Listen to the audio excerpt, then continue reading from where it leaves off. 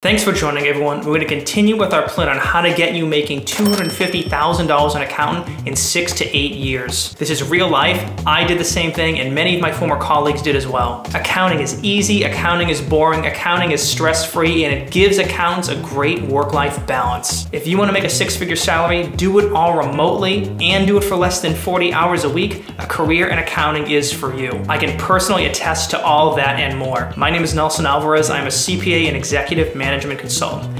Here on the C-Suite, my mission is simple, to put you in the C-Suite. Now let's keep this discussion moving. If you recall, the first step I told you in trying to earn $250,000 in six to eight years or less is to first land an entry-level role at one of the big four public accounting firms. The big four accounting firms are the largest public accounting firms in the world with basically an office in every single country. It's really not that difficult to get a job there. The accounting firms have such an insatiable demand for their products and services, they're always going to be hiring. Now, if you don't already know, the big four firms are PwC, KPMG, EY, and Deloitte. Okay, begs the question, how do we get a job there? Well, first, you need a four-year degree in accountancy if you don't already have one. This is going to near guarantee you an interview. Second, if you're fresh out of college or don't have any previous accounting experience, then you need to get some. Get a part-time job as a bookkeeper, volunteer at a nonprofit, it really doesn't matter. Do it for free, honestly, because in six to eight years, when you're making over 200K, you're going to thank me. Big four recruiters care more that you have some accounting experience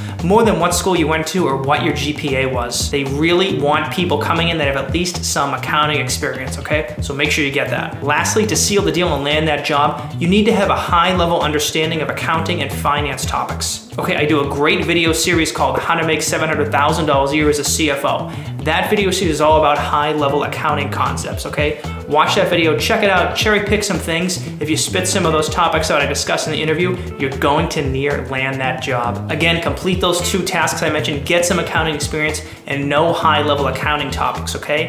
If you have those things, there's almost zero reason you would not be able to land a job at a big four firm. Now, the most important thing I'm gonna tell you when applying to all the big four firms, okay? Yes, apply to all four of them, okay? It increases your chances of landing a role. You need to make sure you tell them that you wanna work in the financial statement audit division of their company. Every accounting firm calls it differently, but the financial statement audit division is where you wanna work. Tell the recruiter that, okay? Now, why do you wanna work in the financial statement audit division? Working in the financial statement audit division will give you insight into how many different companies, public and private, how their financial statements are constructed and interpreted. Listen closely. Understanding how financial statements are constructed and interpreted is the single most important factor that will propel your accounting career to the next level more than any other sub-accounting field out there, okay? Believe me on this. The highest level and highest paid accounting roles in any organization are those that involve the construction and interpretation of the financial statements, okay? I'm trying to set you up for success here. Our goal is to get financial statement audit experience working at a big four firm. That way we can springboard to a career in the private industry. We can easily command a salary of $250,000 or more. If you do any research into the highest paying accounting roles in any organization, it's the director of accounting, the director of SEC reporting, and corporate controller roles all involve financial statement audit experience, okay? Companies love hiring Big Four alumni that have that type of skill set, okay? This is how you set yourself up for success and do it pretty quickly. Okay, let's go over a little bit more of the career path, okay? Fast forward, you got the job, you got your entry level accounting role in a big four firm, okay? You're probably making between $60 to $70,000 a year in your first year, okay? You're working hard, you're being curious, you're making a good reputation. Okay, your second year of big four public accounting, you get a small raise, so you'll probably be making between 65 to 75,000 at this point. Okay, in your third year, you're gonna get a promotion to senior accountant, and this is where you're gonna get a larger raise, okay? Senior accountants at big four public accounting firms typically make between 90 to 100,000, okay? Okay, so literally just over the course of three years from your start of public accounting to really to get to senior level, uh, you've basically added about 30 grand to your salary.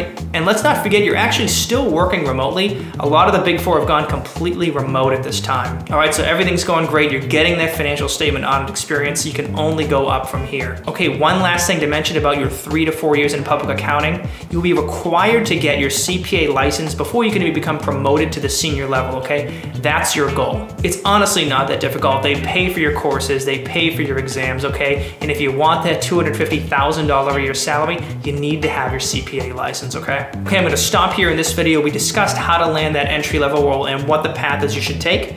In the next video, I'm gonna discuss how to get that manager role in the private sector where you can get a salary between 120 to 140,000, okay? And then we'll finish off with how do you get the director uh, and the controller roles that lead you to the 250,000 plus salary. Look forward to seeing you there.